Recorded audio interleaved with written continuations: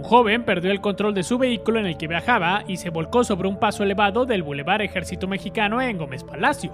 Los hechos se registraron alrededor de las 11.40 de la mañana de este viernes, cuando se reportó al 911 que había ocurrido una volcadura sobre el llamado Puente Centenario del Boulevard Ejército Mexicano y en tronque con Rebollo Acosta.